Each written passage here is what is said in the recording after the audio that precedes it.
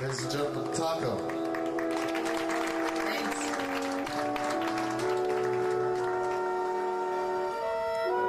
like to dedicate this to to all the people who are not going to be here in a couple months' time.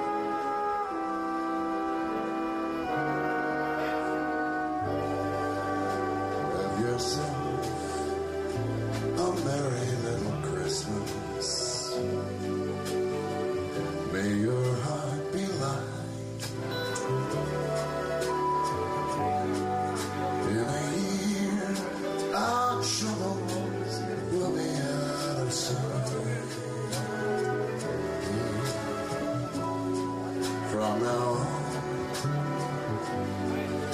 If you're